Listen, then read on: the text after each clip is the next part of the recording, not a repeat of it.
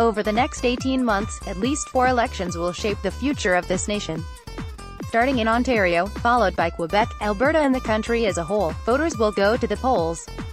New Brunswick also votes this year and another vote in British Columbia cannot be ruled out. But with these key contests looming, there has been very little serious discussion in this country about how voters will receive information they need to cast informed ballots, and the overall security of our democratic process. It's time for a serious look at how our votes can be manipulated by bots and fake news, and whether the electoral process itself is safe from meddling by internal or external sources. Read more. Federal MPs began important hearings Tuesday on data privacy concerns and their repercussions, and Privacy Commissioner Daniel Therrien made it clear the data of 622,161 Canadians harvested from Facebook could be used to influence an election in this country. Yet there is a puzzling, laissez-faire approach from our governments, which seem to find comfort in studies that show the remnants of the mainstream media hold greater levels of trust here than their peers in other countries. They seem to still take false security from the fact Canada has largely immune to interference or onslaughts of fake news, the likes of which we have seen in Britain, France and the United States. We like to think that we are fail-safe because we have paper ballot backups, but a cyber attack could corrupt the process before we need to start counting by hand. The Communications Security Establishment has warned that cyber attacks on the 2019 federal election can be expected, and Facebook has promised an election integrity project ahead of that vote. Part of that initiative will involve an education program from Ottawa-based Media Smarts, which will try to educate citizens on how to spot fake news, differentiate between fact and opinion, and identify malicious posts. A study for Elections Canada recommends a process for monitoring and regulating bots, which mimic the social media accounts of real people to spread propaganda and misinformation, shape public opinion or spread malicious attacks against candidates.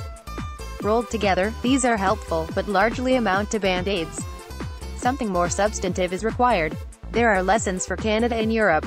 All major parties in Germany agreed before last year's parliamentary elections there that they would not use social media bots and would strongly condemn their use. They also passed a law providing penalties of up to $60 million for social networking providers who did not quickly take down defamatory or fake news reports. It worked. An Oxford University study found only a tiny fraction of social media election traffic came from automated accounts, overwhelmingly from the far-right anti-immigration party. Further, German social media users shared links to professional news sources over junk news sources by a ratio of 4 to 1, a much higher rate than the researchers found in the US or UK elections. In this country, political bot campaigns have so far been ham-handed and largely ineffective. Elizabeth Dubois, an assistant communications professor at the University of Ottawa studied the use of bots in the Ontario Progressive Conservative leadership race, has suggested parties transparently declare whether they are using them, and for what purpose, during a campaign.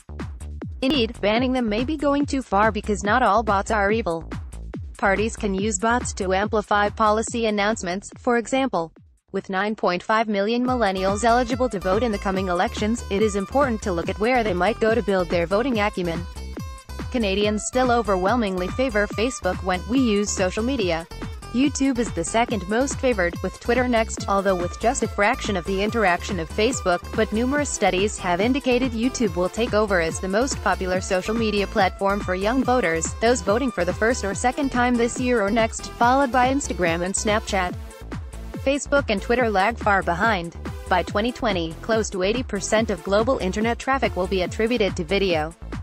Canadians will continue to surround themselves with more sophisticated devices, which will make them vulnerable to manipulation, and the dark side of human nature will continue to lure them mischievous and malicious to ever more sophisticated ways to manipulate. The question is whether our policymakers are sufficiently literate on data manipulation to deal with a threat that is out there for all to see. Tim Harper is a former Star reporter and Toronto-based freelance columnist. Jarper77 at gmail.com Twitter, at NutGraph1